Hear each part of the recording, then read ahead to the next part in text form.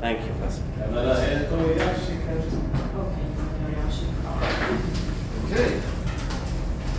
So first of all, good of you, all of you guys to show up on, on an odd night. yeah, well, spiritual things happen at odd times.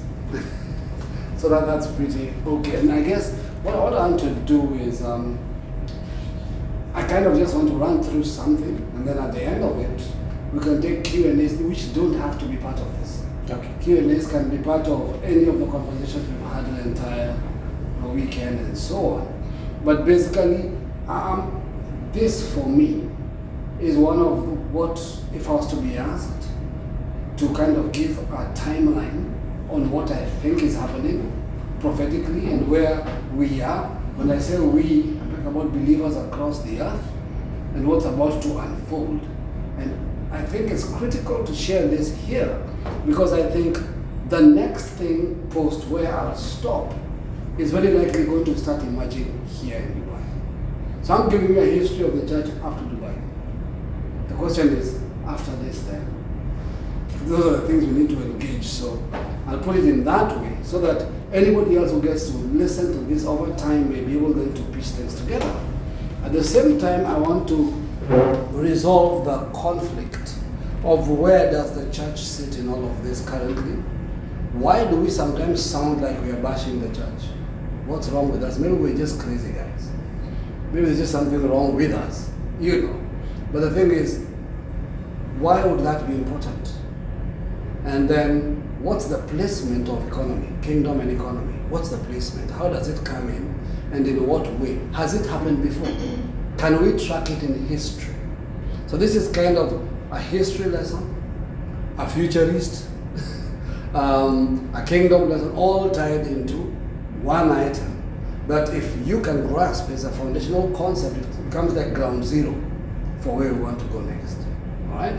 So on the most basic level, uh, Amos 3.7 says, Surely the Lord does nothing without revealing his plan to his servants, the prophets.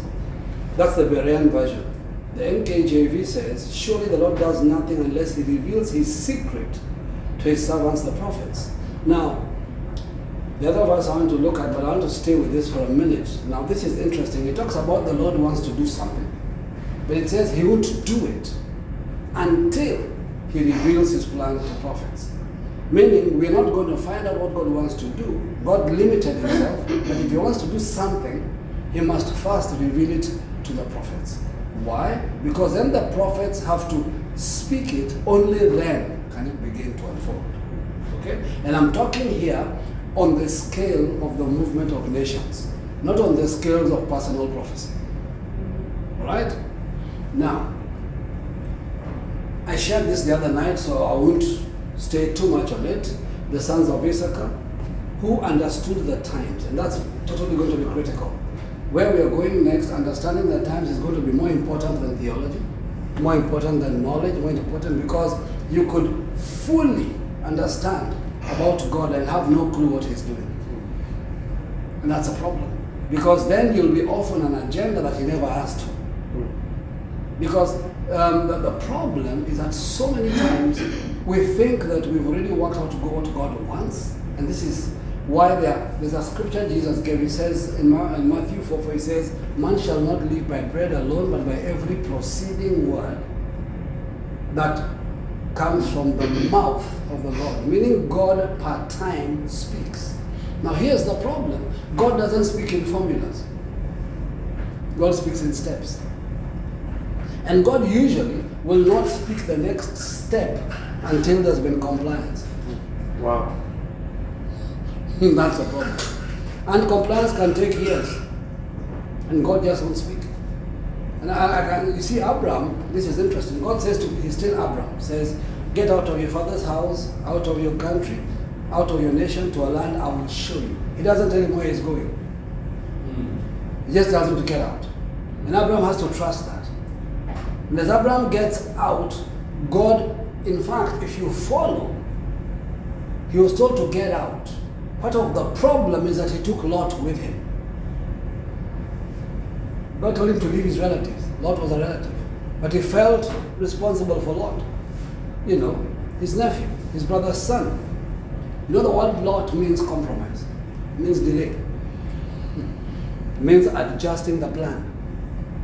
So he took him with him. And it's interesting that God doesn't speak to Abraham again until Lot leaves. That's a profound concept right there. Go check in the Bible. God doesn't talk again.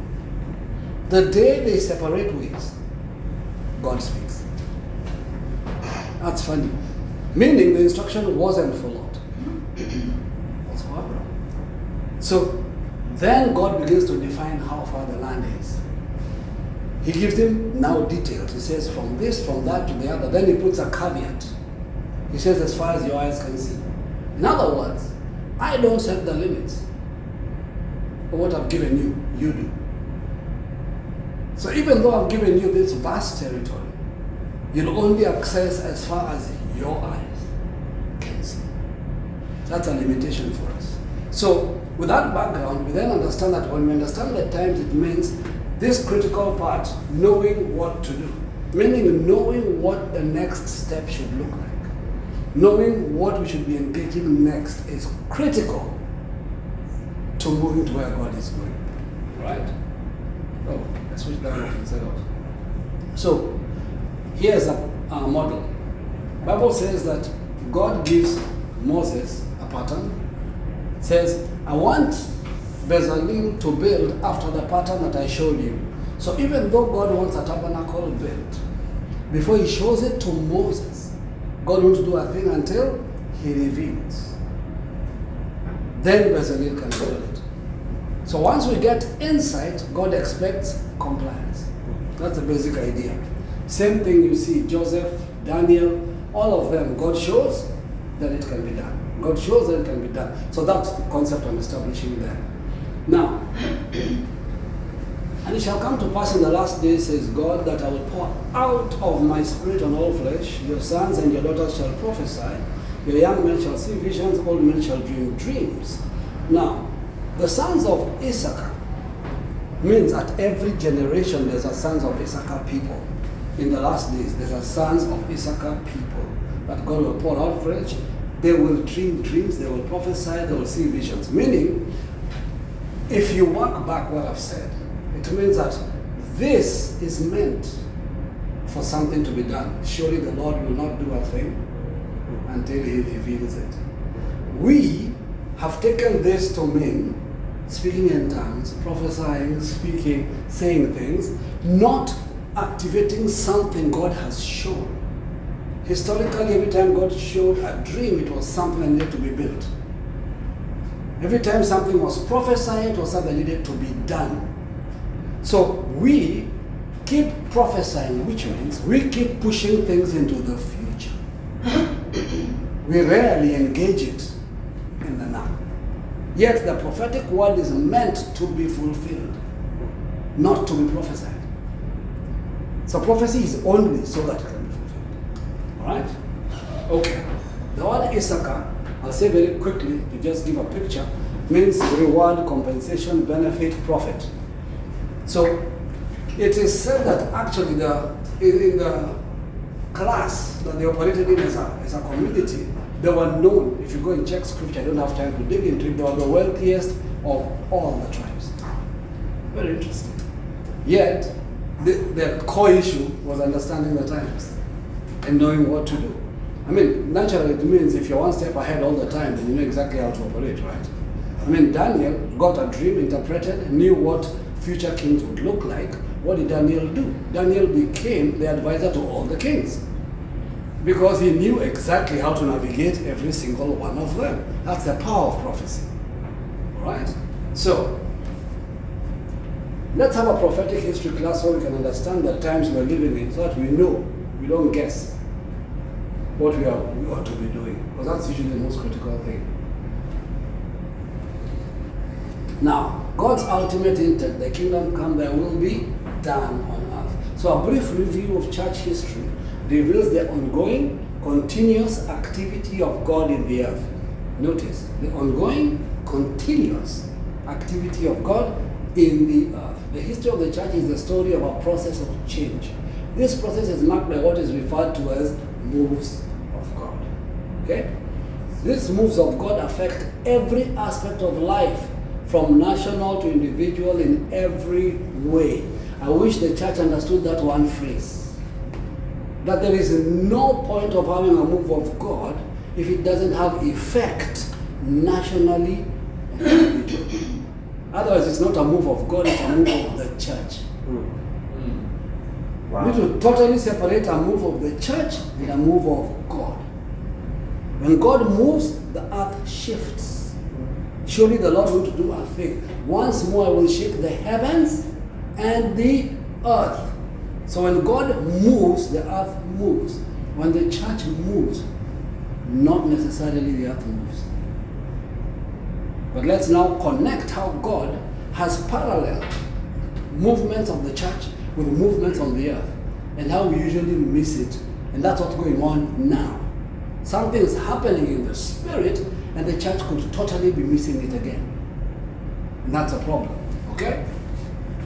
So unfortunately, the church causes the change, then steps out of the way. Always. We activate stuff. I've heard the voice of my people. God responds. When God is responding, we exit, we go back to church, and we leave the world to take advantage of what we activated. And we call it industrialization. To you. So let's start with Martin Luther. The Protestant movement, as we call it in 1500, this move of God came into existence because a prophet of God, again, he may have been a Catholic, but he was a prophet he put down the 95 theses, which today we all agree he was totally accurate. Okay? He received a revelation of justification by faith. Those two scriptures of him, and he, he was a priest. He turned against the Catholic Church, nailed the thesis on the Wittenberg Cathedral, and that began the greatest reformation we've known in this generation. Right? Now, the invention of the printing press happens exactly when Martin Luther does this. Now, here's the interesting story. Martin Luther has a reformation. Here's God says the just shall live by faith. No longer should we keep the word away from people. Need people need to be able to read the Bible for themselves. We can't keep priests to be the only people, and so on and so forth. And voila, the printing press is printed, is invented. Interesting. So one person says everybody should read. The technology for it shows up. Wow. Now, what people don't know about Joseph Wittenberg, who invented the printing press, is that he was a jeweler. And he was persecuted in Germany, went to Sweden for a while. In Sweden, the Chinese had just shown up with their idea of typefaces, but they were having a problem with developing ink. His knowledge, I'm giving you now backstories, these are the kind of stuff I research. so his knowledge of, of jewelry and all that kind of chemical stuff, he invented ink and moving type. And so he invented the Gutenberg printer. Now, did you know that Gutenberg, that the Bible was the first mass product printed on the Yeah. Gutenberg printing press? Yeah. The first book ever to be printed. And the Bible is still the greatest selling book of all time till today. Interesting. Now, what did we do as usual? We walked away from the printing press, and the next thing that began being printed was junk. Because we left the technology that God gave us. And we moved away from it. Now we had the Bible, we were happy. What happens in the environment called Germany? Germany becomes a superpower. Interesting. Move of God, superpower. Every time when the righteous prosper, the city rejoices. Next thing, Hitler and the Nazis arise. Why? Because the church moved out of governance. The church went and retained the cathedral concept of hiding from the public. John Wesley, the Holiness Evangelical Movement of 1800, the most significant man used by that time was John Wesley, who was outspoken exponent of holiness. So three main truths were installed in this movement: sanctification, baptism by immersion and divine healing. Notice, Martin Luther restores the just shall live by faith. It's like the next progress of knowledge is sanctification, baptism, immersion, divine healing. First industrial revolution is activated.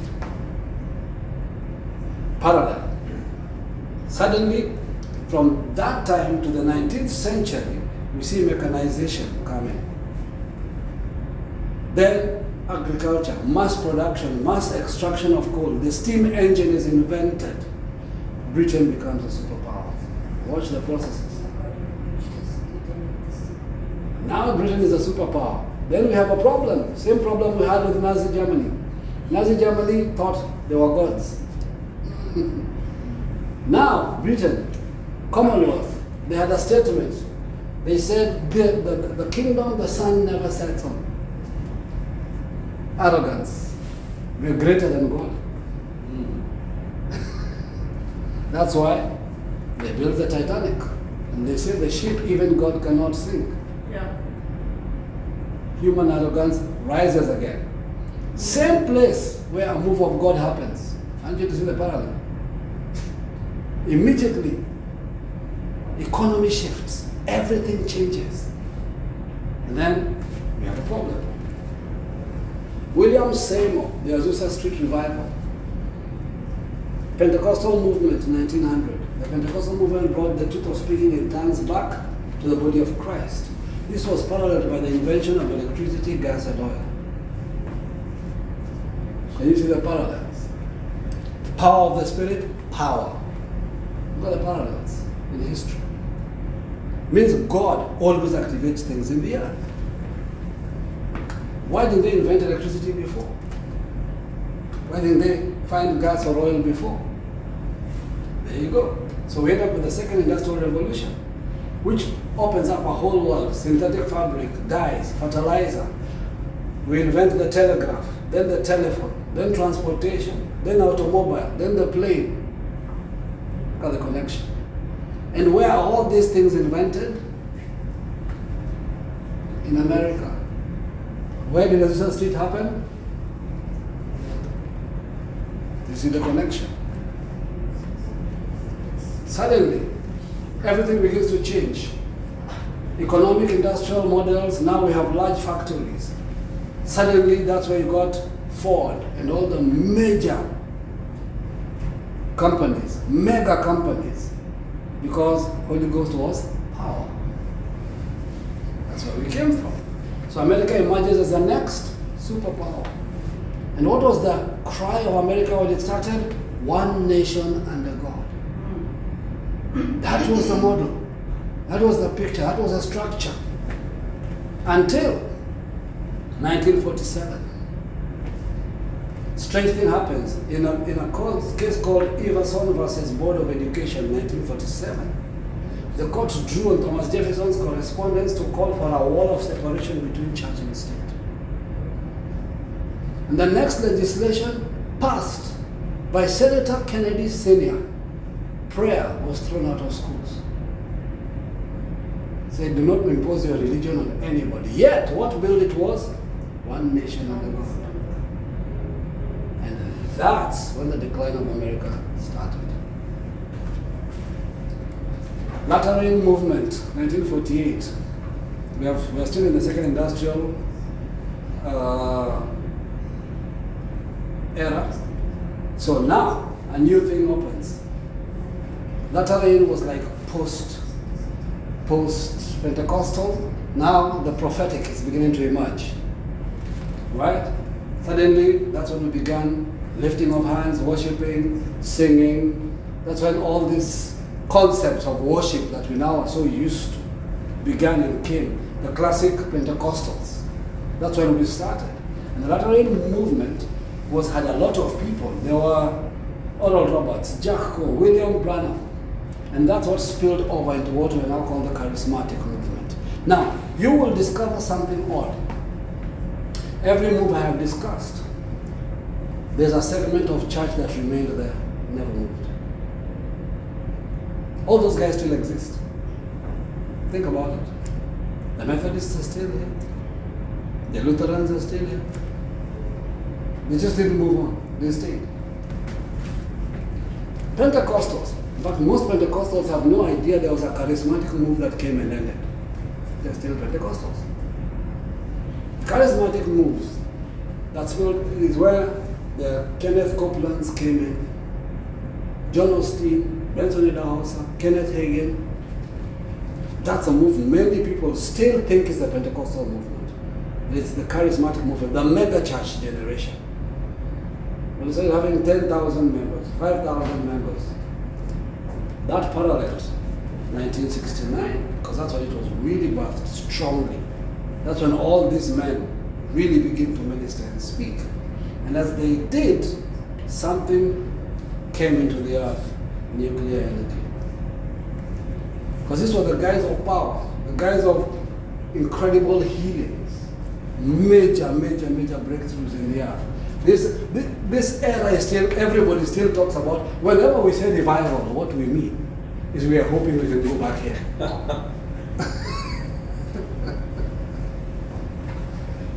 and this birthed the third, suddenly nuclear energy, rise of electronics, the microprocessors, biotechnology, PLCs, and robots. Same season, the charismatic. And that's where America's superpower position begins to peak. And then, 1900 to present day, more or less, though 2020 something happened, as you notice I gave you a specific date. What happened in 2020? COVID. Thank you. We'll see how this unfolds. So the apostolic prophetic movement, so most of these people are still around. One of them is here talking. We are still here. But we have to be very careful that we don't end up here like everybody else. This brought kingdom advance, prophetic accuracy, removal of dichotomy between the spiritual and the secular, etc. We begin to see a much more profound shift, which gave birth to the fourth industrial revolution, which is where we are, the disruptive era. Technologies, AI, VR, artificial intelligence. Why? Because there's great wisdom in the church now. Insight. Seeing things that nobody like. This is the environment which, that's why I am called a futurist. The ideas are supposed to help us get unstuck from here. Otherwise, we'll be exactly like everybody else. Now, having said that, let me touch on this moment. At the time I first presented this slide, it was in 2020, actually, 2019. And they say we're going, no, 2020 early. Just before COVID hit is when I first presented this. And I said we're about to enter a new crisis, and here's a problem. At that time, the debate in America was going on about Trump is of God, Trump is not of God. Prophets were having a lot of issues. Some are prophesying Trump will win, some are prophesying he will, all sorts of things.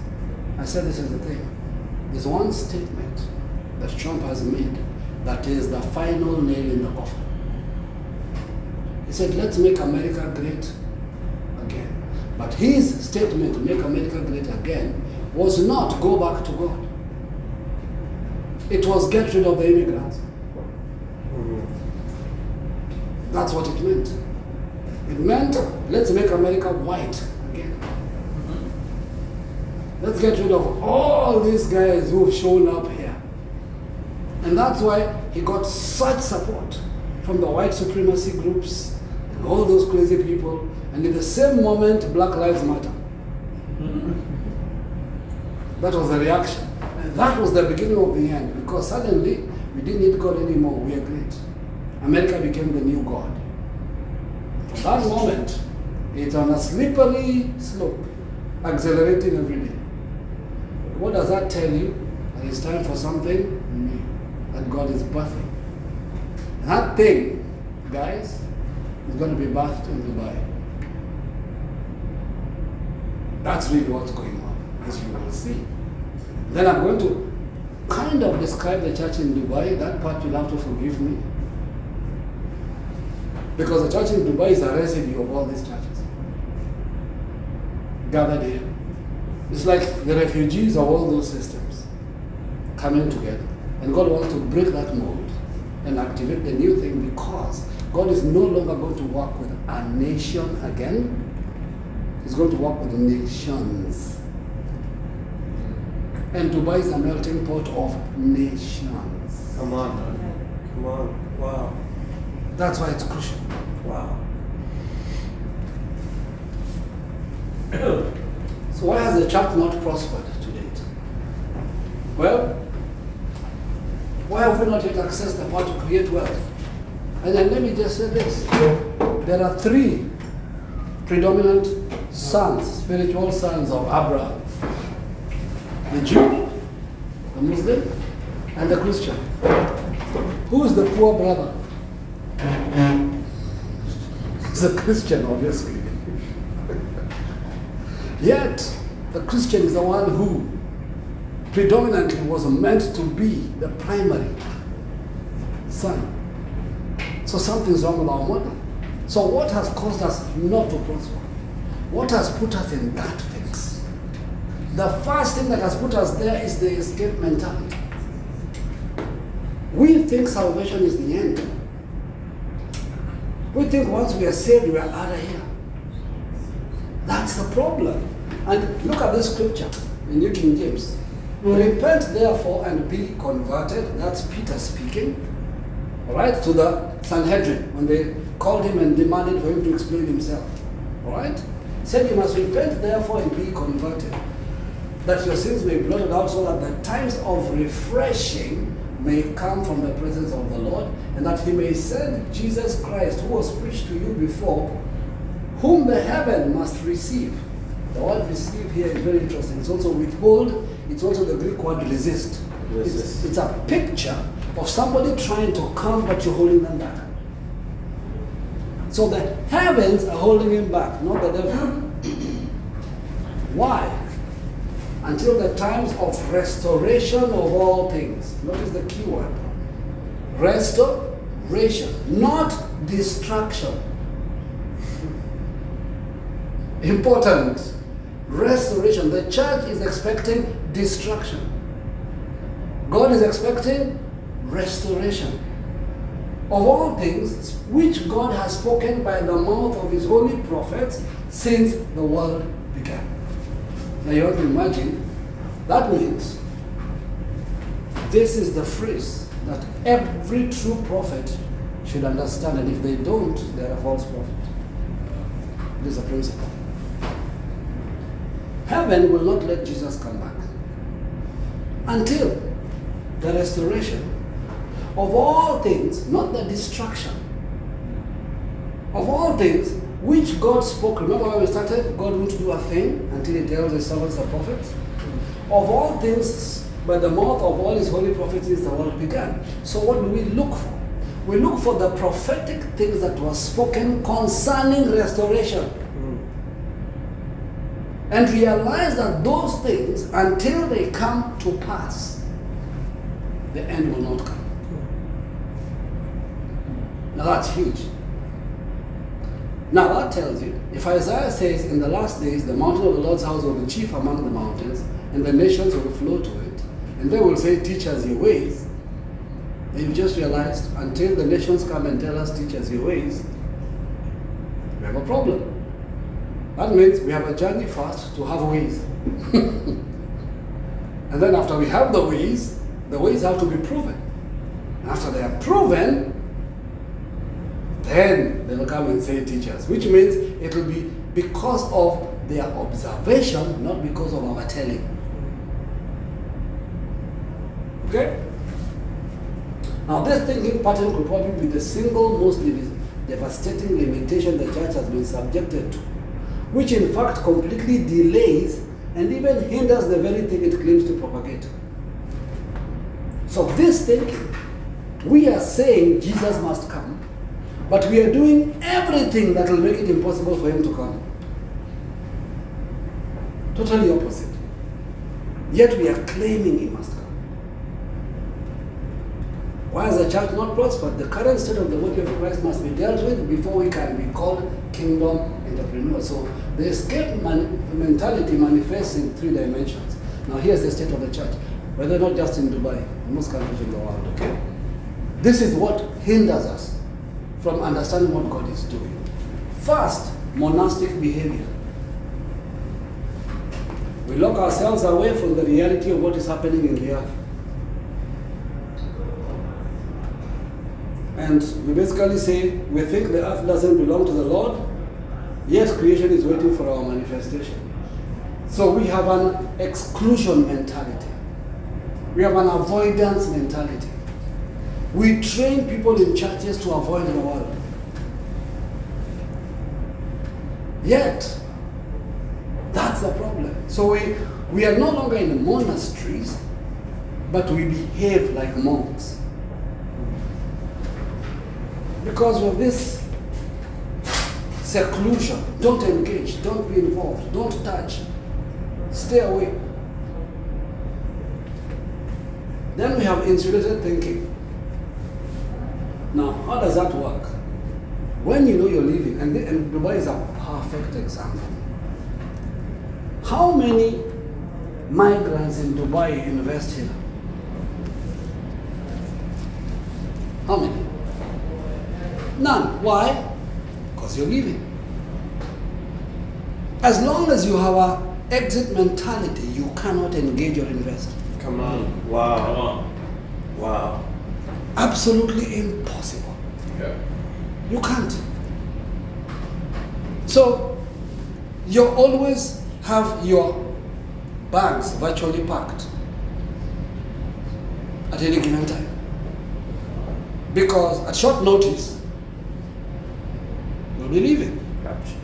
Yes. So the church has been in that mode for 200 years. We have bags packed. Those bugs are now antiques, they're still packed. Because anytime we are here. So that makes it impossible for us to restore anything. And do you know when you're about to travel, you pack light? Naturally. That's why church doesn't invest. The Jews believe in God and a Messiah, but they own the earth. They have no problem with it because they understand the earth is the Lord's. Wow. The Muslims understand the earth is the Lord's. The Christians believe the earth is the devil's. Wrong doctrine. So we don't engage. We avoid. And as long as we don't engage, we miss every single opportunity God brings our way. When you're about to travel, the stuff that is a weight. Don't touch it because it's going to waste your time. If, if you knew you'll be here for six months, it affects the house you rent. It affects everything you do. If you know you're going to be here for five years, planning is different. You might buy a car. If you think you're going to be here for 25 years, you'll buy a house. Mm. That's the difference. So the church has no real estate because it's in exit mode. So we are living in a permanent refugee camp Wow. Wow. because we don't belong. Yet the highest heavens belong to God. The earth He has given to men. This is our real estate. The guy who is illegal here is the devil, by the way. We don't know that. Because our preaching is our home. We believe Jim Reeves more than we believe God. This world is not my home. So what does it end up with? Irrelevance. Irrelevant. Let me ask you, if you run a company, you run an organization, I mean, Lance, you guys are running a school. If you know that you have a teacher who's planning to leave in a year, how much do you invest in them? Hardly. Because you know they're not going to be here. So suddenly, we've become irrelevant. We are so irrelevant that if we were raptured, we wouldn't be missed. It's the truth. Because if your absence is not felt, your presence was not required in the first place. I mean, think about it. There are people who show up in your life, and when they disappear within a week, forgotten them. But there are guys who you'll always remember. Why? Because they had value. So I always say, look, if we are going to leave, then we are going to leave a mark. Our absence must be felt. But your absence cannot be felt if you did not make your presence felt mm. in the first place. Okay? So, what is the solution? Kingdom citizenship. We have to move from church to Ekklesia. And when you understand that apostolic grace is not planting churches, apostolic grace is building civilizations. Different doctrine. Apostles build civilizations.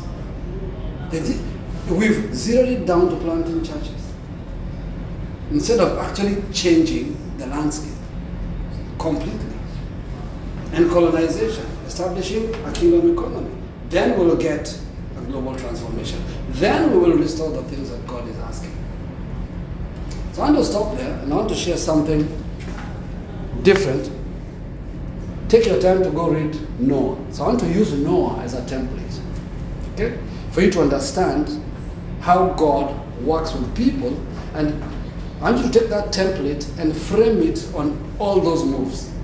Every single move will have applied this template. Okay? So God tells Noah to build him an ark. So I want to get contemporary now. We know the story, so that's why we won't even read it, but let's get contemporary. So I want you to practically think about this. God shows up and says, No, I want you to build an ark. Now, for us, because we read stories and not an ark is, we are all pretty impressed. Noah had no clue what God just said. Anak, what is Anak? Oh, Anak. It's a big boat. What is a boat? Remember, the Bible says it had never rained in the earth. Because there'll be a flood. What is a flood? And then the flood will fill the earth. Okay, hold up. You want me to build something I've never heard of? To deal with a problem that has not occurred. That may occur with something we've never imagined. That's the assignment. Now I know how to build backwards. So think if you showed up and found Noah building. First of all, it means know how to depend on God 100% for the design. Because he had no clue what an ark is. So if you read the book of Noah properly, it means God would give him design, he would build, and God would give him design. Yet he had no clue what he exactly was building. Wow. Because there was no reference point and there was no problem to deal with. Imagine that mindset. So if you showed up and found Noah at work, how would the conversation go? Hey Noah, what are you building? An ark. What's an ark? I don't know.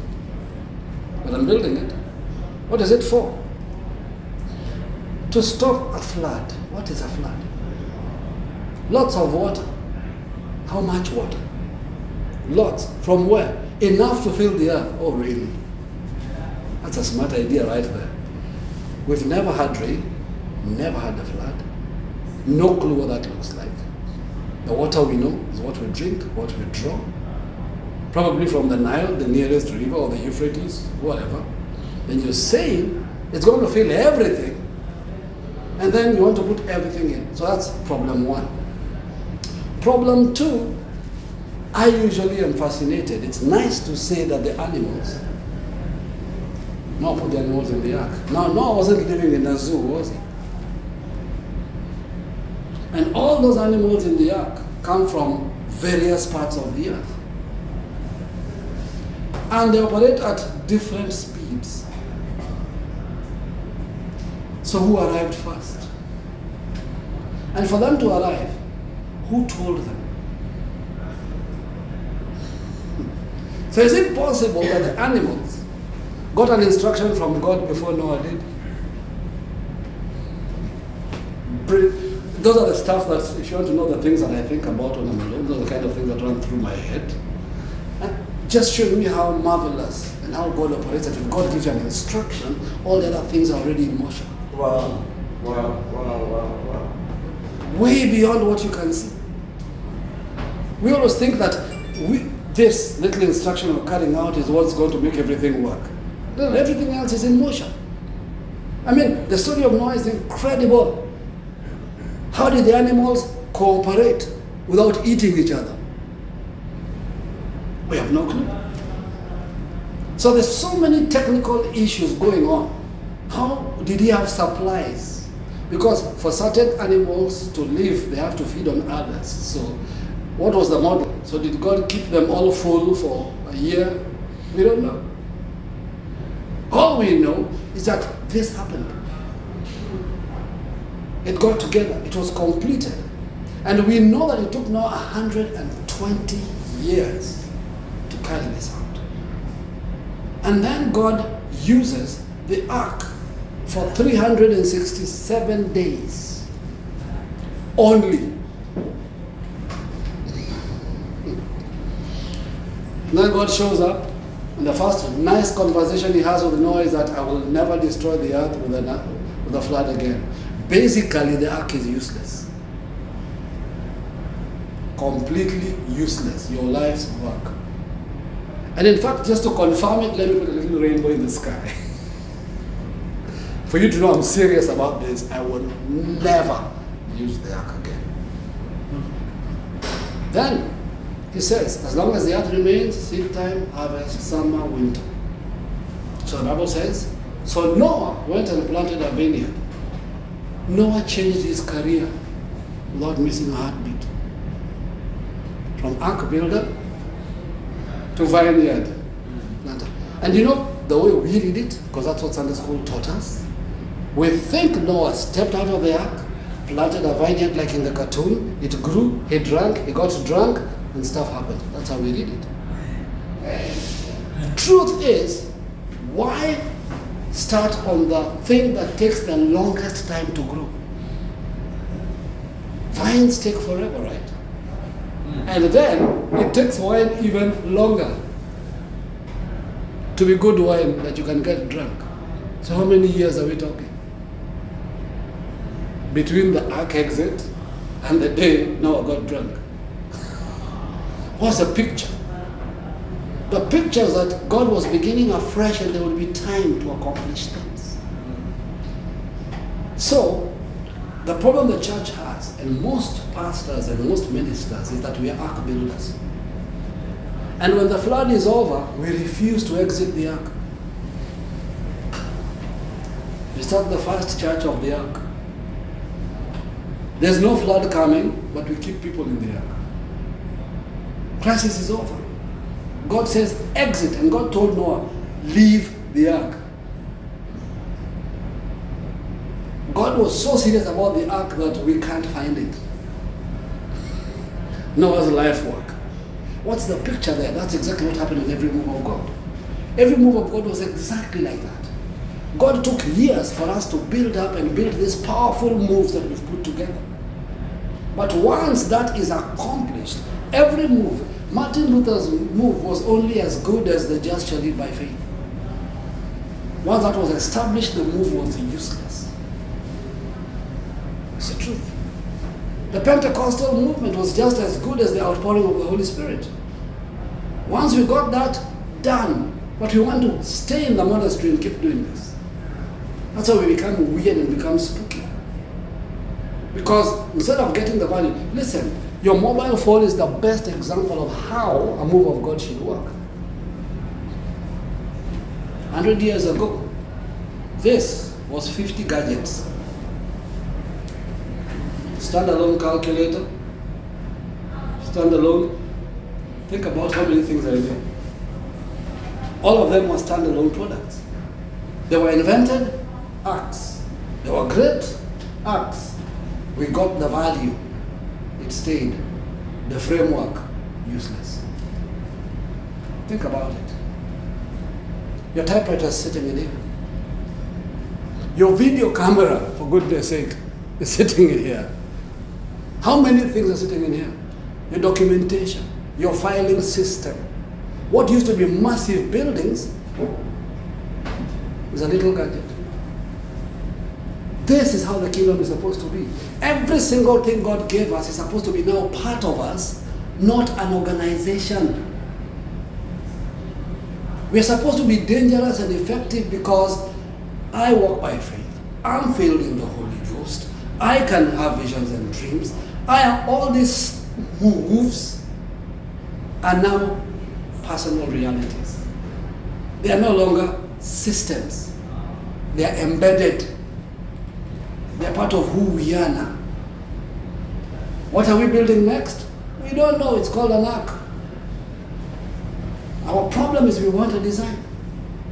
We want a perfect formula. You, you want me to tell you Dubai will be one, two, three? All I can tell you is that it's being birthed here. We're doing the next step. It's called an ark. As we unfold one step, this week was a step. This meeting is a step. The pieces are coming together. When we are obedient to the step, God will give us the next one, and the next one, and the next one. And then suddenly, we'll be so successful, everybody will jump into the ark, and then God will say, Get out. we are off to a new level. That's what we mean by glory to glory to glory. That's the principle. So whenever we refuse to exit, God has absolutely no problem. He starts another move without us. Doesn't struggle. And we can be busy with our meetings, busy whatever we have, but He's already off doing something else. Let me tell you a story in the Bible. You all know Elisha and Elijah, right? What people do not know is that Elisha wasn't the first servant to follow Elijah. If you go back, you'll find that Elijah had another servant unnamed. And Elijah said to his servant, The Lord has told me to go to Bethel. Stay here. Notice the term. The Lord has told me to go. But you stay here. Bible says, and the servant stayed. Elijah never went back for it. When it came to Elisha, he would say, The Lord has told me to go to Bethel. Elisha said, As the Lord lives, and as your soul lives, I will go with you. So, in moves of God, we don't make demands for people to follow us. We go. And those who can hear God follow. That's the accurate model. So, where we are shifting to in the earth is the church structure is no longer effective in carrying out what God is doing. The church era ark is over. Was a great move. Powerful. It was by God, by the way, it's not by the devil. But God did not intend us to gather. God was not interested in an ark. God was interested in the cargo. Cargo was the issue. God needed to replenish the earth, not to domesticate the animals. So the minute the flood was over, God gave Noah the exact command he gave Adam be fruitful, multiply, fill the earth. Why? Because the first generation missed it. And did you know that Noah is chapter 9? The Tower of Babel is chapter 11. Wow. Uh, Abraham is chapter 12. Look at the shift. So God tells Noah, fill the earth. Genesis 11, under Nimrod, they say, let us not fill the earth, lest we are scattered, let's build a tower. In direct disobedience to God's instruction to fill the earth. Hmm. Bible says they reached a plain and settled there. That's a problem with the church. When we are a plain, when things are easy, settle. They said, let's build for ourselves a city and a tower to heaven. In other words, let's build our own version of how to worship God. And God said, confuse their language, Yeah. scatter them. In the scattering, God says to Abraham, get out of your father's house. That's the progression. That's the order. So if there's a prophetic sound that God is releasing into the church today, it's called confuse their language. That's why churches can't agree. Conflict in the church. Oh, God is doing what He always does. Some will leave, some will settle. You realize Nimrod created Babylon, right? Created Nineveh, Calneh, all those countries, cities. Even when Abraham left, those cities continued to exist. So the church, as it's con- currently constituted, will continue to exist. But the church, as it is constituted, is a clear and present danger to the move of God. It has always been. All those people I mentioned, every single of those moves persecuted the next move. Wow. Every single one of them. The Lutheran persecuted the Baptists. Because the Baptists began to baptize in water, the Lutherans would hunt them down and find where they were being baptized and drown them. Christians. Because they thought that was heretical. Because they thought they were the custodians of the moon. The Baptists were the people who said the Holy Ghost cannot move in the earth. Hmm? The Pentecostals are the ones who said the charismatics are prosperity preachers. They don't love God. The charismatics said there are no prophets in the earth. God doesn't speak anymore. Apostles died. The apostles are saying kingdom wealth is materialism. Same old story, same old environment. So God has to scatter it again. So what's the difference? Somebody asked me, what's the difference between us and the past generations? We have one major advantage. We have the history to look at. So Wow. we don't repeat the mistakes. On. That's the only thing we have. So we can look back and see and be careful not to fall into the same trap that God always has to. Now, I've only taught you two parallels. In the future, we'll talk about the other parallels. We'll talk about the parallels on the other side of the coin. About how then God causes shakings in the earth, which we interpret as wars, rumors of wars, pandemics, which happen as part of the trigger point of the shaking. So if COVID happened in 2020, we're in the middle of the shaking. That's the only reason why, if you go into any church today, the people know something's not right, but the people choose to stay. That's the truth. The only people who are comfortable are people like me, the pastors. Because we are the ones running the show. So I couldn't teach this until God had me dismantle my own system.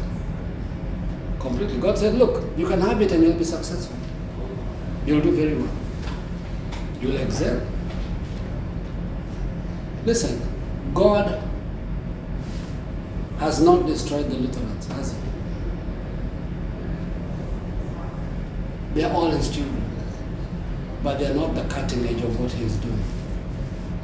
So one chooses whether to be part of a move, settle, or whether you're going to be cutting edge of what God is birthing next.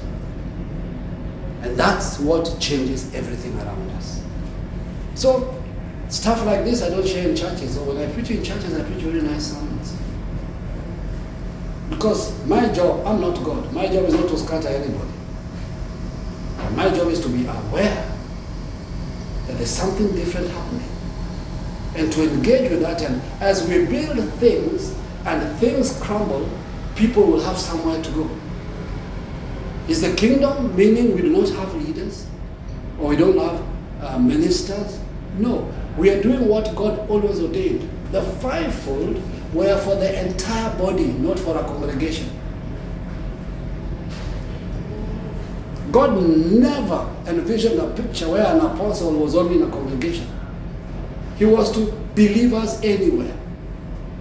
And each apostle brought specific grace to the body, irrelevant. And so That's a whole story for a different day. When we talk about then how is the dynamic of relationship. How do we still have impartation and leadership in the spirit? Because we're not also advocating anarchy. Not talking about rebellion and everybody hearing God for themselves. That's not what we're saying. But we're saying we're moving to a place where the word is greater than the speaker. So I can put what I speak online and never benefit from the people hearing it, but their lives are changed anyway. Now that takes us stop being visible and having impact instead. But the way we've structured it, we want to be superheroes. We want to be at the pinnacle. You know the problem with that? We become easy targets. That's why you're hearing so many scandals in the earth of pastors. You know why? They didn't delegate when they should have. Mm. And so the enemy knew if I hit you, I will mess up X number of people. Of course, you will be restored. Of course, you will heal. But the amount of people in confusion before they find settlement is going to take a while, and the devil enjoys that. So I said, listen, guys, Jesus was smart. When they came to look for him in the garden of, uh, um, in uh, Gethsemane, they asked, which one is Jesus? Isn't that interesting? And Judas had to identify him. That's serious. I thought he was obvious, everyone knew Jesus was. Why did they need Judas? He says, the one that I kiss, that's Jesus.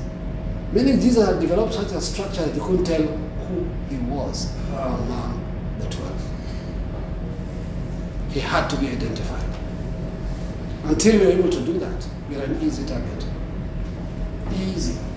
When, when, when, let me finalize with this. When David comes to Hebron, the Bible says the tribes came to make him king. When they all gathered from the different tribes. That's why we get that scripture, Second Chronicles. Because that's why you list the sons of Issachar. An interesting thing happens as these people come, David makes a statement. He says, If you're for me, then God be with you. But if you're against me, then God will judge you.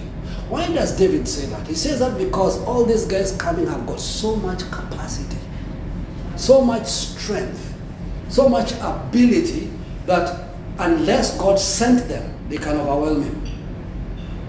We need, you see, we built a church where everybody is weak, pastor is strong.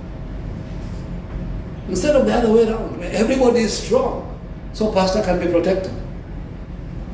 So a strange thing happens. After they meet, they go out immediately to fight. And they fight against the sons of Anak, the giants. And David is almost killed. First time ever David is almost killed at war. And what the guys tell him, the captain says, listen, David, from now on, you stay in the palace. We go to war. Because if you die, then the light goes out of Israel. So it's safer now for you to be kept safe and for us to engage. Now that's the kingdom economy we have to build. An economy that if we are apostles, prophets, pastors, we hear God. We speak. You engage. We don't even have to be found. We don't need to be visible except to you. We won't be famous, but we'll be powerful.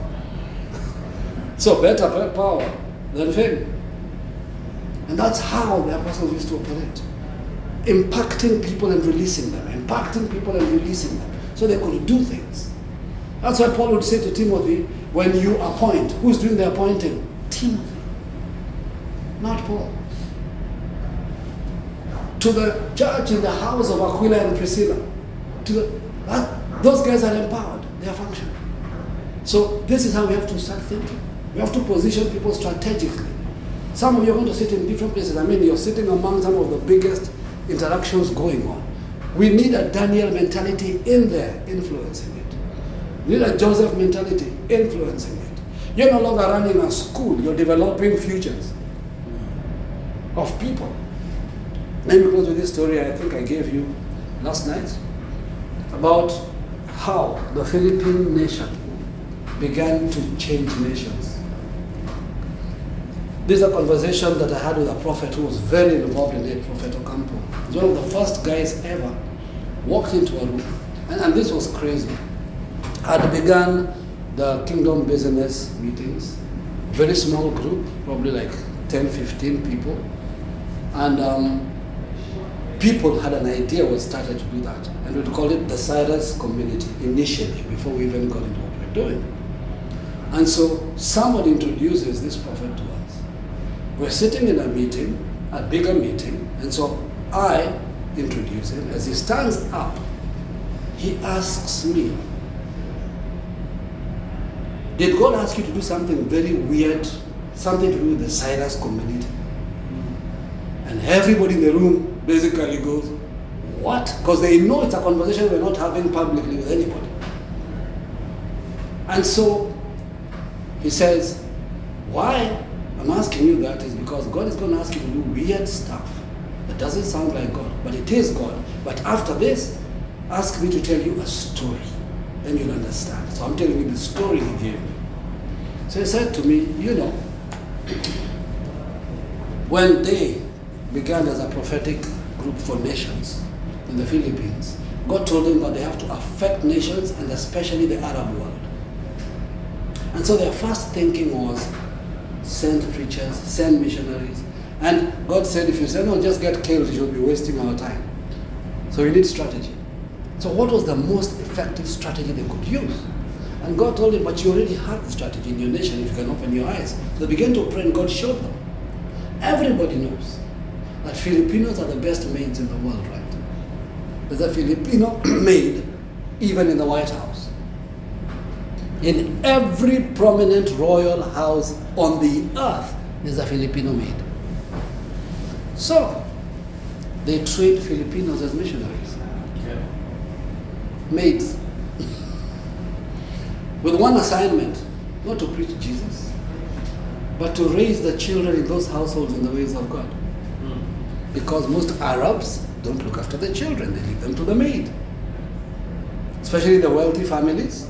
Father has no time for the children. It's a maid who raises the children. That is what we call the Arab Spring. That's what erupted. That's the Arab Spring. Majority of those nations, if you track back the people who were involved, there were children who were brought up by these maids, who were breaking free of Islam. Today, Islam is crumbling. It doesn't require preaching. It's crumbling from within. That's why you see the changes you're experiencing. All these changes began 20, 15 years ago. Wow. Yeah. They didn't start now. They started because God had people who were willing to be invisible, Mm. yet functional. so, so imagine what you guys can do hidden in Dubai. And all of you here are hidden in a plain sight. So you're the most effective possible tool because the next move of God is going to depend on economy, it's going to depend on trade, and kingdom believers have to work with trade to change nations. Today, if you walk into any African country, as a billionaire who wants to invest, you'll meet the president immediately. Hmm. So isn't that much more powerful evangelism than a crusade? Because then you can shift policy. Then you can give conditions to the money you give. So God has changed his model. He's using wealth. And globally, all the wealth is zeroing into this nation. Everybody wants to keep their money here because it is safe. That's the truth. I'm sure you know the turnover of what's going on. All the gold reserves are now moving here. Why would God do that when you're all here? Because you're hidden like Moses in plain sight inside Pharaoh's house. So many believers, many of you are here, and the advantage many of you have is it was easier for you coming from the Asian continent, most of you, to come in. because nobody saw it coming that you would be Christians. Wasn't in the plan. It was Hindus, it was Asians, it was they're safe. What does God do? God goes and gets all of you born again in India and then sends you in. Strategy. Problem is, now many churches here who were sent here are busy doing missions out. Wrong focus. You know why? This is the reason. If you remain in prosperity, that's why this when I when we do the kingdom economics forum, I'll talk about church economy, Babylonian economy, and kingdom economy, which hardly anybody has properly heard of kingdom economy. But it's the thing. Church economy is what? Sum total in Dubai, sum total of all the offerings that all the churches collect on Sunday. Can it build a building in Dubai? Right? What are you doing with it? Sending it into Africa, sending it into India. You were sent here, you're not sent from here. It's a different ballgame. To build economy, to multiply it, to increase it, to invest it so that there's a real value that can now make changes. So you will still fund things, but you're supposed to fund it from a place of strength. Meaning building schools, building universities, uh, funding businesses. What I'm doing with pastors in Liberia, we've got over, uh, we speak to over 500 pastors. I'm getting them all trained for skills, not for preaching, for business, so that they can get engaged with their country and do business. Because they've done ministry forever and they're always depending on handles. So it's better if they did business, then they own the facilities where they are, then they can rent out half as office, half as church, and still have church. But they say the church centers now change into training centers. So now when I go, I do maybe one, two church service. The rest of the week is training. Training in sanitation, training in, in basic business, basic knowledge of how to trade and how to keep your books and how simple things. And you know what's funny? The economies of the church has begun increasing because people know how to do business now. In the past, people were coming for prayer. Now people are doing stuff. Now you can imagine that Dubai right now is probably one of the highest consumers of anything on earth. Because the numbers are increasing and you grow nothing. Go figure. So you import everything. So if you import everything, if you can control and access the source of where it comes from, guys, I've been offered a thousand acres in Liberia for farming. I have no clue what to do there. I'm not a farmer.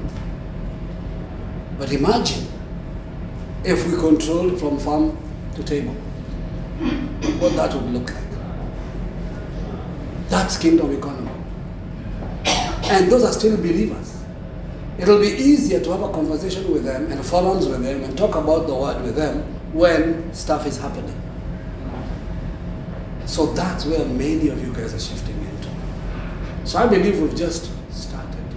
We've just triggered the idea. You're all in place, you're all here. There are those who will choose to be in church. And you can't, don't fight them, don't force them, don't push them. We are all configured differently. But there's a group that God is going to pull out. And that's all He needs. That's going to set up systems that are going to revolutionize the world. The only thing we don't have, that the Muslim and the Jew has, is systems. Although, get our systems right. And yet, we all work in all their systems. We make it work. So we're not fools. We just don't have boldness. And the one thing, when I come back, we'll deal with it. We'll deal with the Indian cultural spirit. Can I explain how that works? No risk. Don't take a risk. Do something that you know is sure, specific, and will work out. Don't try new things. because you are, you are taught to be efficient. Innovation is a struggle. That's why I hardly hear people talk about I need to start a business. So, I mean, you guys are different. But everybody else wants a job, right? It's okay. So when we come for that forum, we'll talk about Daniels, Josephs, and Jacobs. Daniels are usually in government. Josephs are in entrepreneurship, but working with government. Jacobs, businessmen, innovators. And there's a whole dynamic on, as we talk about Joseph, talking about all the how to find your purpose, we take it to the next level. Are you a Daniel, a Joseph, or a Jacob? Because that's going to determine your functionality. You know what is funny about all of them? They all could interpret dreams. Hmm. That's a unique thing. Yet they function in totally different fields. Wow. So those are some of the things that we will be dealing with when we deal with kingdom economy. Kingdom economy is a whole new ballgame. It gives you authority, it gives you success, access, it gives you functionality. Totally different ballgame. Then you understand the difference between church economy and kingdom economy. So guys, I can talk until tomorrow morning, so stop. I just have to stop. Any questions? Wow. So I, I, I think I'll go first. So Pastor Charles, uh, we had a lovely conversation that most people in the room didn't get to hear. Mm. I think I think some of the guys in this room need to hear it.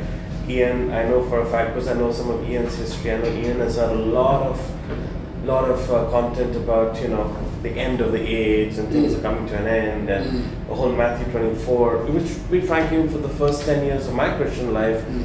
I mean, I heard more about the rapture in my first year of faith than I did about any other subject. And so Matthew 24, after John 3:16, I think the next stop for me was Matthew 24, and that that's Yes. and we joked about the movies, the Left Behind movies, Yes. and, uh, and there were so many other Yeah. other movies and so on that, that that that actually shaped that. Yeah, Yes. and there's so many in that season. Yes. But uh, you really broke down something in our conversation that I think guys in the room need here, which is about uh, uh, uh, even that whole under- misunderstanding of the word rapture. The word doesn't even appear in scripture. Yes. Yes. And the misunderstanding of even how, you know, what it really means. Okay, let me just throw it in in a nutshell. Well, why, why it amuses me is because I always tell people that half of this stuff I taught them. I taught this stuff with all my heart. And I was one of, and a man I can communicate. I got people saved out of fear. It worked. By fear, you mean the hellfire. Of course. I mean, all the, and I can be very graphic about the creatures that will bite you and stuff like that. But all of those are just nice stories. Now, this is the thing. Because of the depth that I pushed and said, God, something, I know what I'm saying. Something deep in my heart, if I'm honest, this and your nature and your character, there's a miss. It's, it's like you're a schizophrenic God. Like on the one hand, you've got this major plan to wipe out a whole group of people. And on this other hand, you're this amazing, loving God. And, and we keep selling the story of a God who, who is also just, as if just means mean. So your nature doesn't connect. So if, if truly your nature is superior and your nature pre-existed everything, then I'm going to use your nature as a template to start looking through scripture. So the first thing I saw in scripture was that it's not God's will that any man should perish. Mm. Any. It's got nothing to do with Christians. Okay?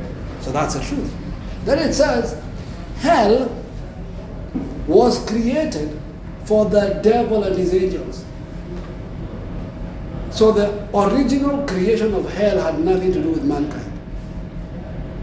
God has no intention of anybody going to hell. People will go to hell, but that was not God's intention, which means in God's economy, going to hell is because you've crossed all the lines, you've refused, Mm, not because you've made mistakes. Two different things. So then I began to study, look at, look at the rapture story. And thank God I love history because history helped me put things into. So, I mean, right now I can't go into the whole story, but let me give you a few of the things that we all know that we've been taught, and then let's query them properly. We are taught about Matthew 24 25, where Jesus basically, supposedly, is talking about the end. Yet the disciples asked, What shall be the sense of the end of the age? The word there, age, is eon or era. It's not the word world. But we've decided it's the end of the world.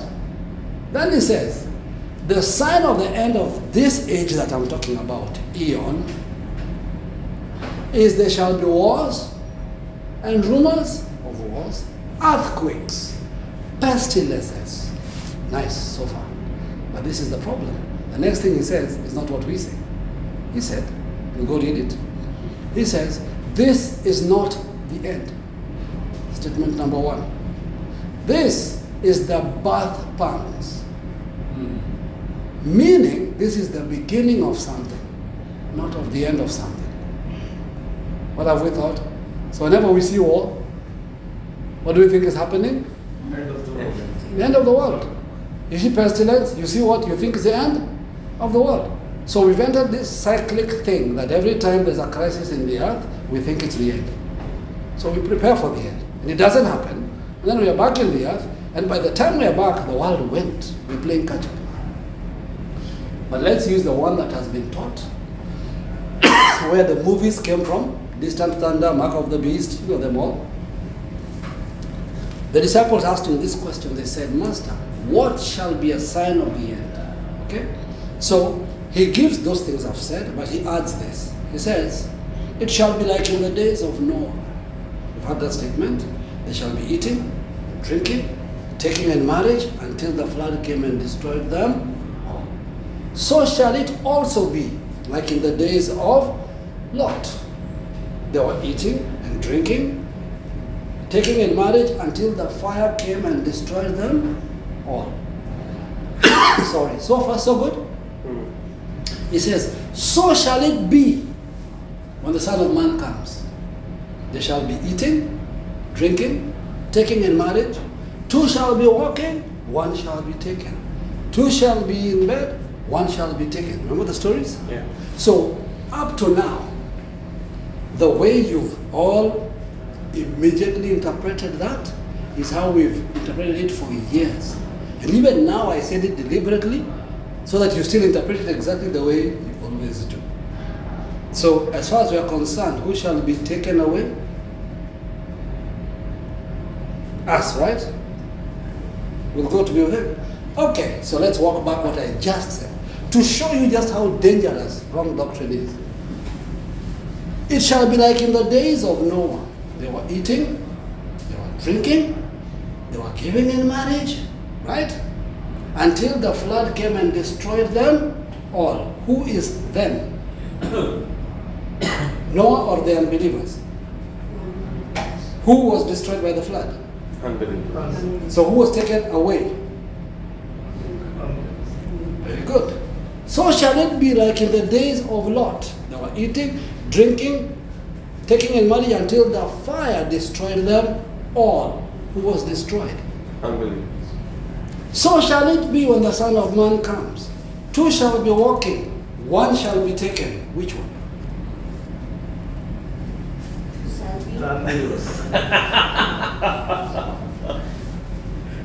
Who shall be taken?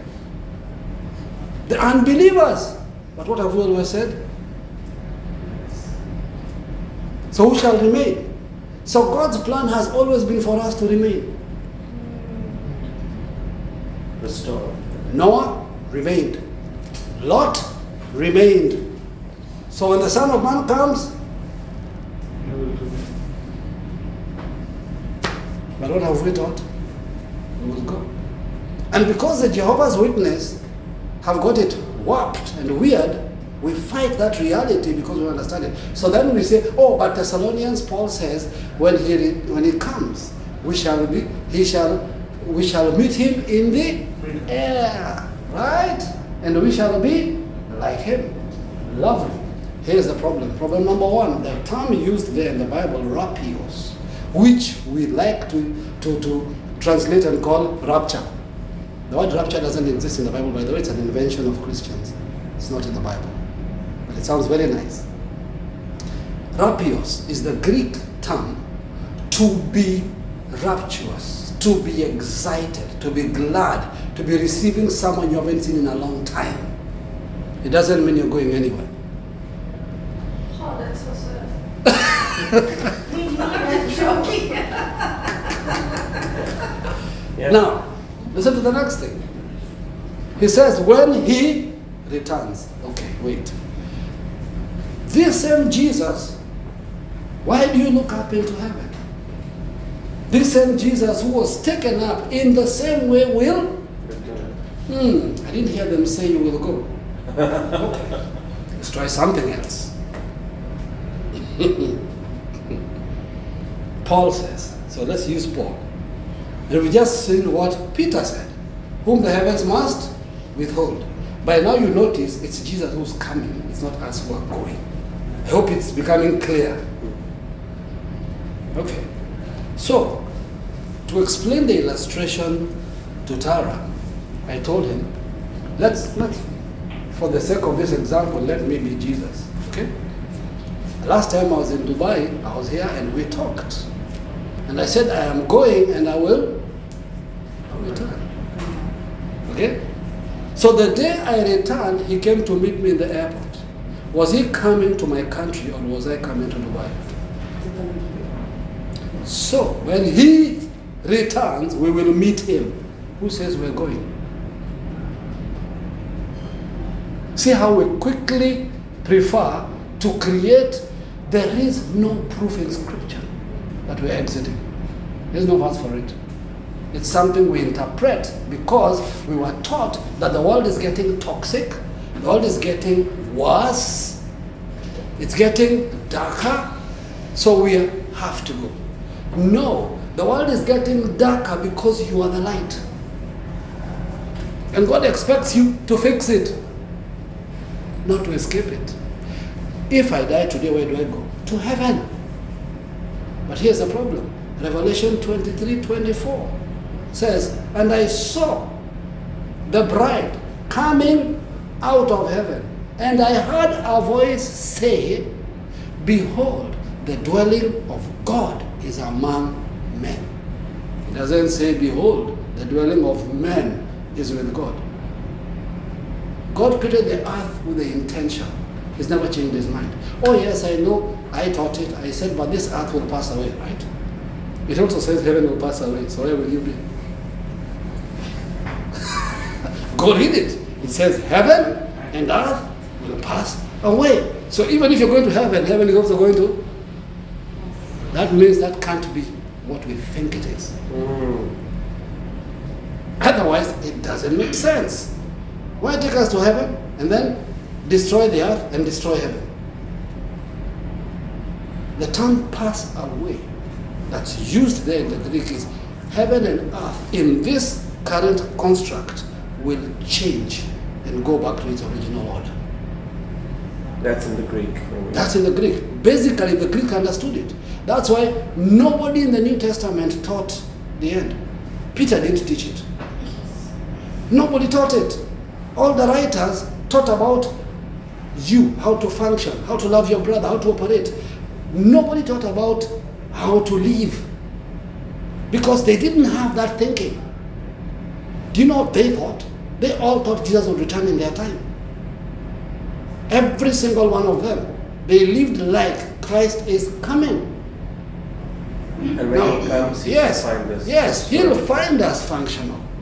Every parable Jesus came about a gave about a master going ends with a master returning. Have you noticed? Every single parable.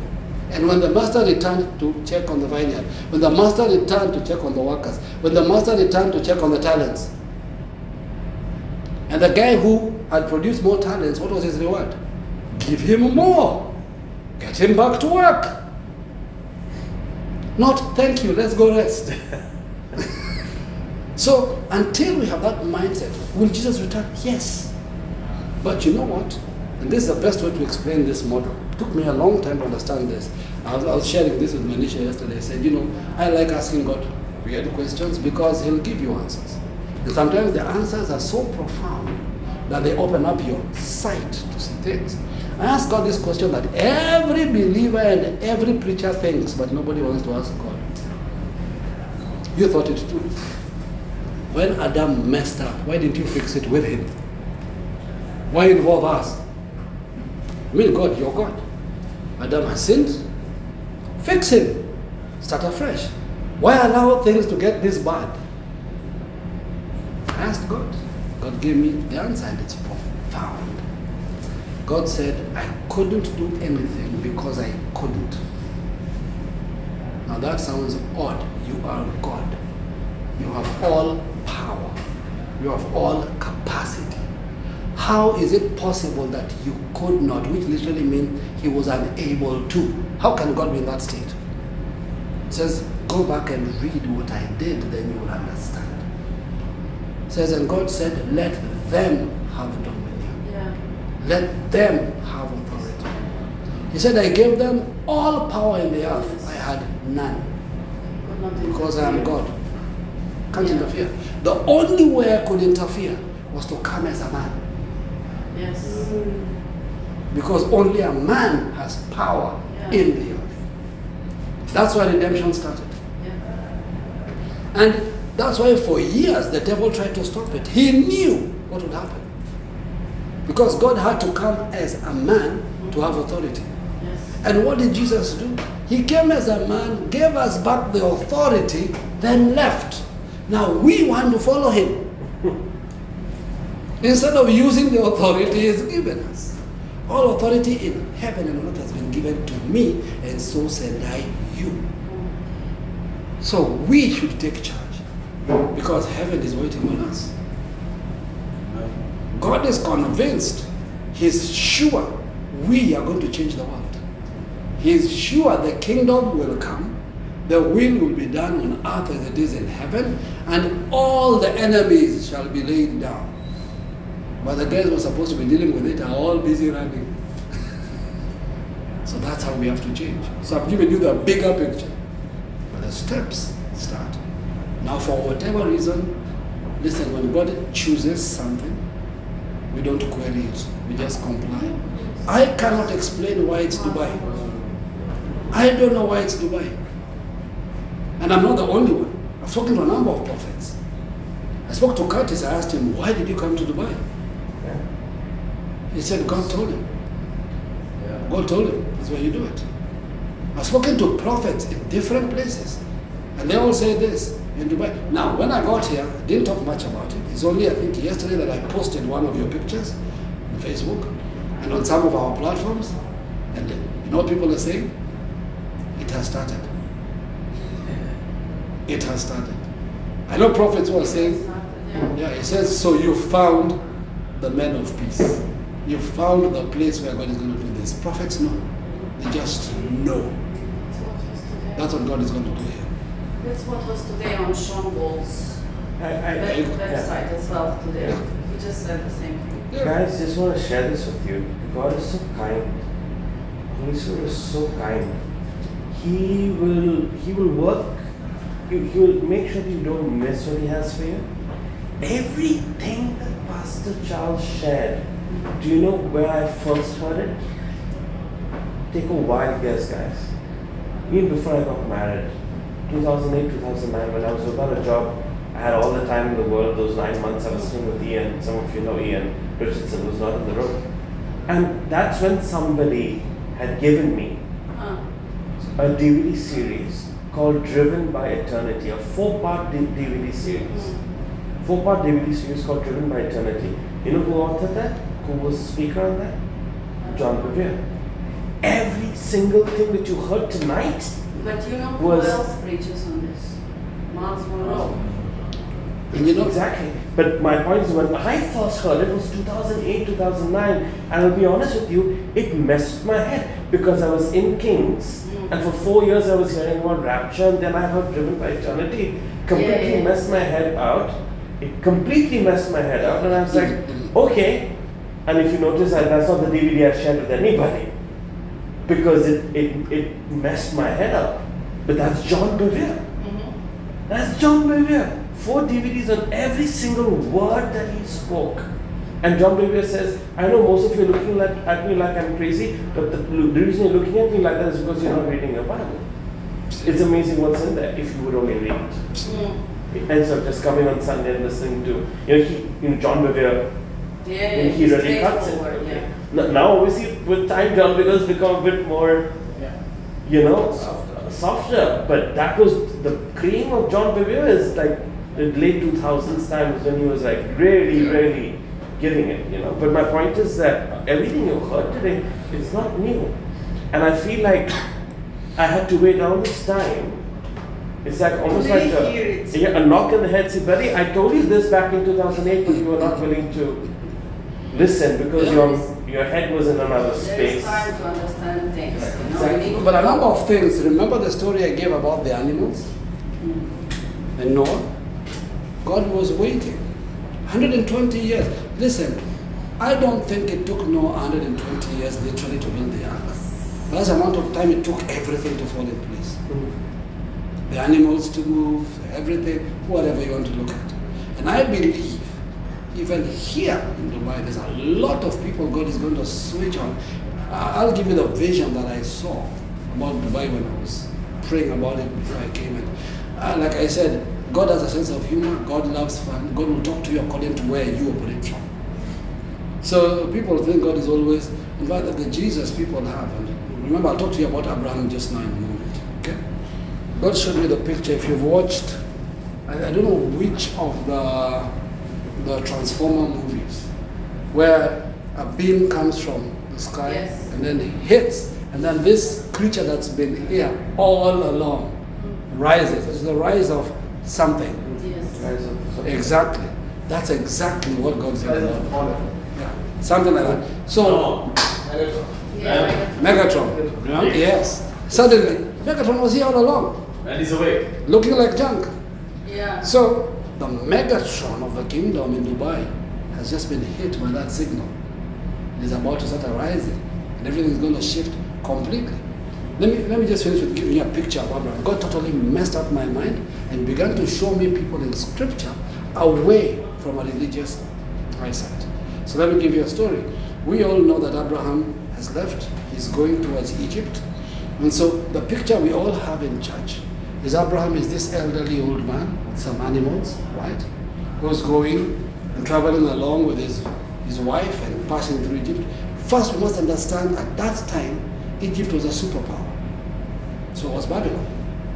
So understand this conversation in context. When Abraham says to his wife, when the king sees you, say, You're my sister. He is informing you that he's got government protocol. That when he arrives in a nation, he meets the king. That's not the Abraham you know. Because where will the king see you? So my, my wife always says that I usually use this with her as my prop. So she says, with permission, copyright. I usually say, it would be like me saying to my wife, we're traveling to Dubai. When the emir sees you, tell you're my sister. What are the chances of the emir seeing you? In real life? Hardly. Unless I was somebody who, when you march through a nation, it is a requirement for you to interact with the leader of the nation. So Abraham's protocol level was governmental. So that's one picture of Abraham we don't understand. The second picture we don't understand is that an interesting story is told. Four kings capture five kings in war. Genesis 12. These four kings, so that's think about it. Four kings, so they have armies. Go and fight and capture five kings and their armies. In that movement, they pass through Sodom and capture Lot and go with him. So get the picture right.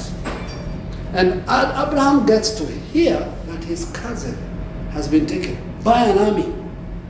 And Abraham takes off to go get his cousin. It's not about how big the army is, it's about someone's got my cousin. So, what kind of people did Abraham have with him that he was convinced he could take on an army that large and rescue his, his cousin? See, we read the Bible wrong. So, our father of faith was a military leader with mercenaries. He was a prince from where he came from. He wasn't a shepherd looking after some animals somewhere.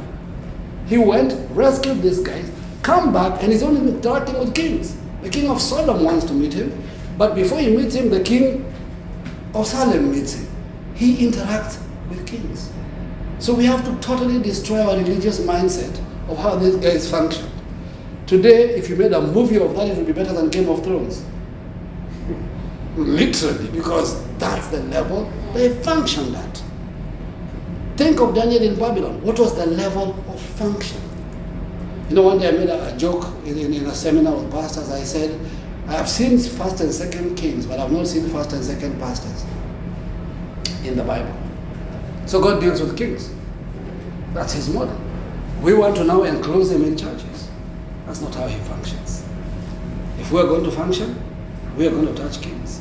In this nation, we have to start strategizing people who will become advisors to the emir, Mm. who hear from God and give advice. That's how, when God wanted to save the nation of Israel, he didn't use prophets. He used Esther, a queen. But she had a mentor, see, who was invisible. It's always like that. So we have to change our mindset of how we operate. That's how it has to happen. So one other Excellent. Thing, one other thing I just wanted to add, guys. So believe it or not, believe it or not, the cessationists and evangelicals have got more than one problem. One of their problems is that obviously they don't believe in the gifts of the Spirit.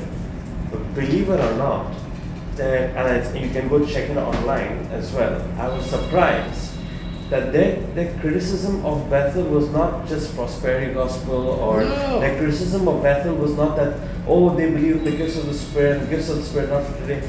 Their primary, or in that list of, of their criticisms against Bethel is, they're like, they preach, Bethel preaches dominion theology. Yes. And I was like, what? Yep. That's a criticism.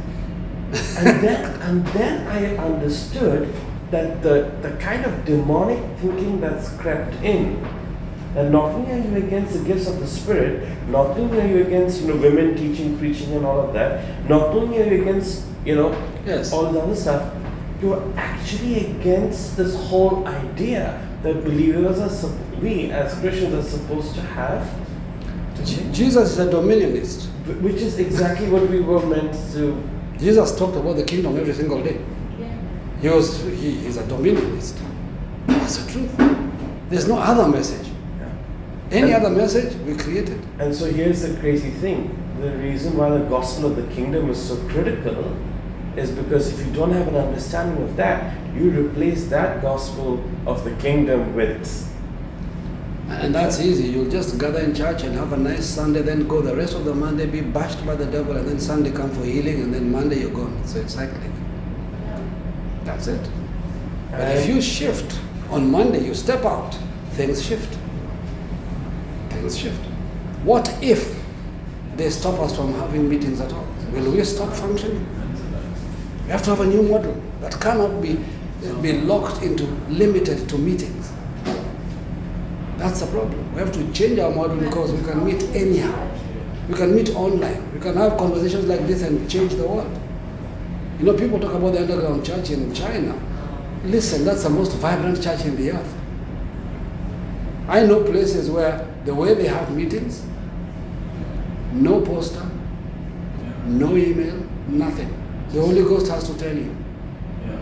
So if you don't show up, we know you don't hear God. Hmm. That's another. It's doable. We can switch that on. So instead of prophesying every day, we need to have a prophetic activation so there's a prophetic at their office. They don't prophesy, they just guide stuff. We have to change how the kingdom works completely. True that. any So questions? guys, there we are. Any, any questions, guys? Come on, now's the time. Now's the time.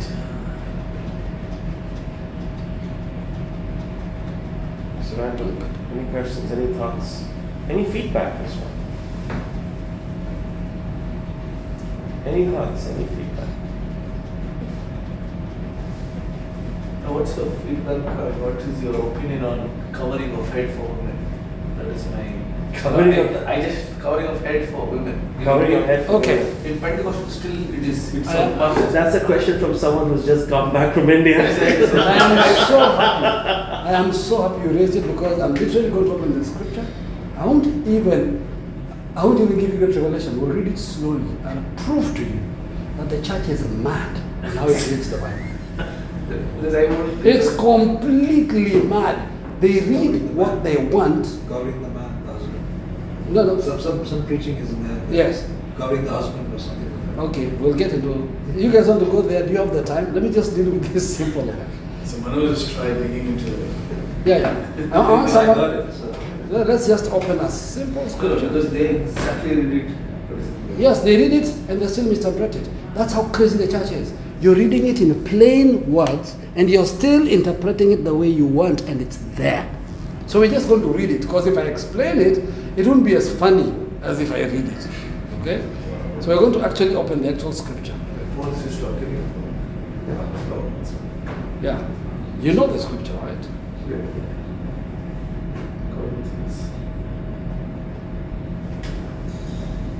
It turns out that after Romans, Corinthians is the most controversial letter. So, so strange, right? So strange whether it's about the gifts and all Because people don't understand how weird the Corinthians were. They, they, they used to say that apart from Ephesus, they used to say had more gods than men. Sounds interesting? So let, us just open Covering that the head. scripture and actually read it. Because it's funny. And the best way, I wish my wife was here. This is one of her favorite. She's got to come back. By the way, guys, next next one we were just talking in the car. I was having a, a personal conversation with uh, with Pastor Charles and just talking to him about state of marriages, uh, you know, uh, and, and all of that. And First Corinthians 11, 11. 16. All right.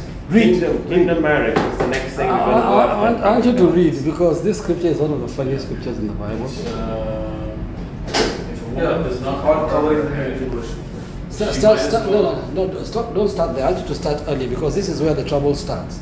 The trouble starts because people jump to that scripture, that part, without reading the whole context. Context. So we're going to we're going to look at the context, and then you'll see why it's funny. I praise you because you remember me and everything Uh-huh. and retain the traditions as I pass them on to you. Mm-hmm. I want you to know that Christ is the head of every man, Okay, hold. man Hold right there. I'm going to use props. Come. We're going to do this, then you're going to see. Okay? So I want you to come. Come. I need, I need four people. So we're going to just do something interesting here. I need one more person. Oh, Mr. Randall, you asked the question. This is, no, I want, I want you because you asked. I want you to follow the story. But this is going to help everybody. It's going online. It's going to be fun. Okay? Just stand in line. Yeah. We're going to do this. Start with the first one. I'd like you to know that. Uh, I want you to know that Christ is the head of every man. So, I'm going to make him Christ, and he's going to be the head of man. Okay? Continue reading. And the man is the head of a woman. So, the man is the head of the woman. Okay? Continue. Don't worry. Um, and uh, and God is the head of Christ. and God is the head of Christ. So, we have an order.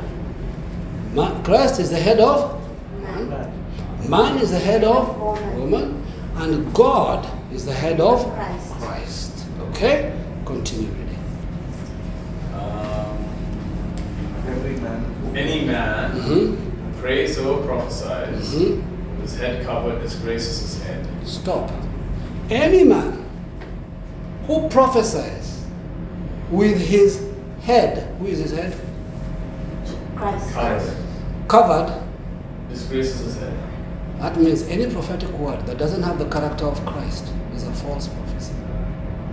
Not the hat part part of it. He began, he began by giving you the formula, the head of every man. So we shouldn't change the structure. He said, but I would have you understand. He's talking about headship, not heads. Mm. Okay? So, man, so but what do we do when we are praying? When we pray, we remove heads. Let's be logical for a moment. How would a heart affect prophecy? Just think about it. How would the heart affect prayer? We're mad. He's talking about you cannot have a prophetic word that does not carry the character of your head. That's why he began by first explaining who is whose Head. head. Now let's continue now. Now, any man praying or prophesying with his head covered, meaning, raises his head. meaning he, he cannot cover Christ. He cannot replace him. But any woman who prays or prophesies with her head, Uh huh. Uncovered. Uncovered. Who is her raises head? Who is her head? Man. Man. So any woman who prays or prophesies with her head uncovered, who exposes him, who embarrasses him, who shames him, she cannot now stand up and say she can pray and prophesy. Yeah, yeah, Do you see?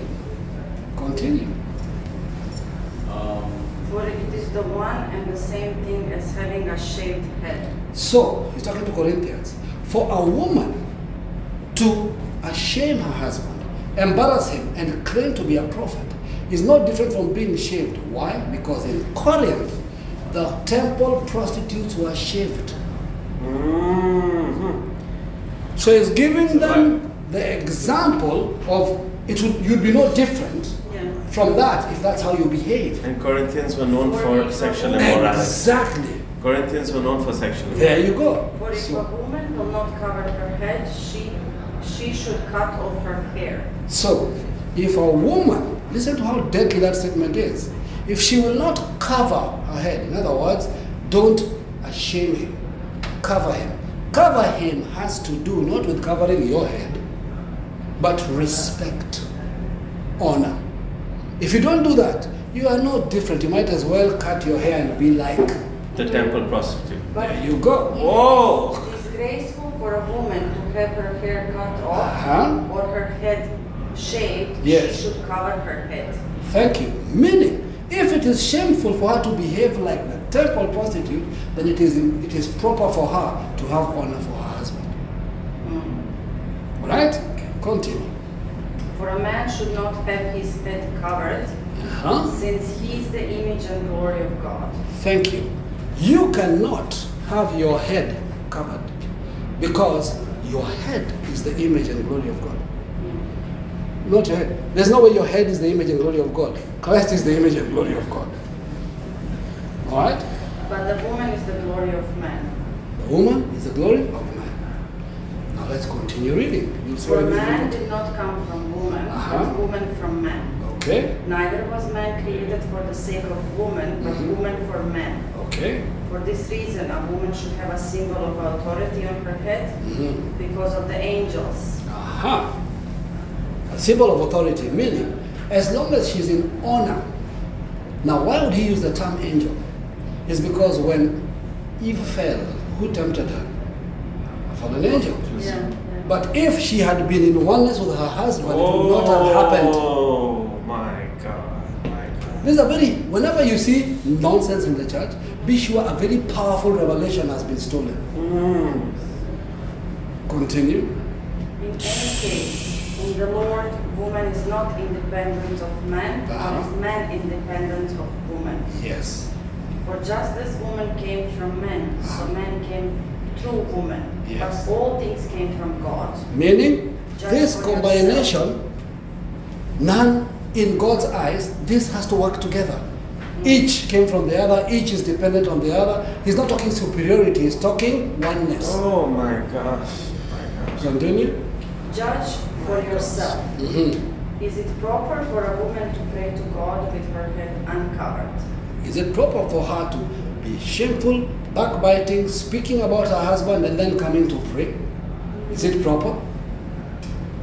Then it says, Does not nature itself teach you that if a man has a long hair, Mhm. it is a disgrace for him? Uh huh. But if a woman has a long hair, Uh-huh.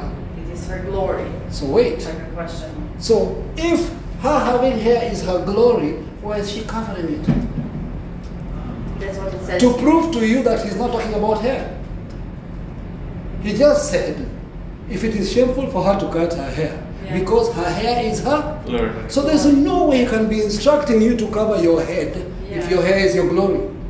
For her hair is given to her for a covering. Thank you. If anyone intends to quarrel about this, Yes. we have no other practice, nor do the churches of God.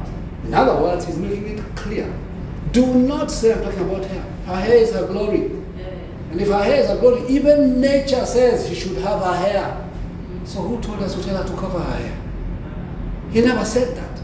So Paul never left anything unturned. Just in case you step in, that's why he says, listen, I know what you guys are thinking. We don't have a law that says she should cover her head. What about Joseph's hair? Joseph, now, I can explain that one. Why did Joseph ha- shave his beard? Did you know that the Jews didn't shave at all? It was illegal. It was against the law. But God was telling him, if you're going to work under Pharaoh, you're going to shave your beard. And so he was doing the most difficult thing a Jew could do. To be able to function around Pharaoh, otherwise Pharaoh would not have received his wisdom. Tells you, God is always breaking rituals, man. Come all things to all people. Yeah. So we think that God is obsessed with externals. he isn't. He, he doesn't care. He doesn't care. Randy, grow your hair, buddy. Yeah. so every single that's time you do. prayer, you remove your hand. Listen, the guy's removing his head. He's not even praying. Were there hats when, when, when Paul was writing this? No. So what covering did men have when Paul was speaking? Do you realize it's an absurd thing? Today we have caps which were invented a hundred years ago. Now we're removing it. But when Paul was there, everybody had a hoodie by the way, Yeah. including the men. They never removed it. But that's I'm just showing you how many doctrines in the church are hiding powerful revelations. What I just explained to you is also applicable in marriage on how the order Works. works. So a woman will say, a man will say, my wife is not submitting to me. I'll say, are you submitting to Christ? Yeah.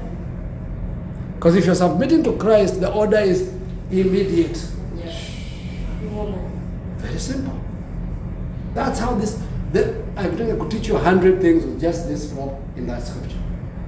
So next time I come, ask all those questions. There are many. I went through them and God broke them into pieces. I used to be good at that stuff. Thank you. Thank that's you. really where it comes from. Now you learn one thing. When you read your scripture, think about it. Ask questions. Be like, God, what's happening here? Yes. Yeah. I, I- I've said a simple thing I usually give everybody who asks how do you read. I usually say simple.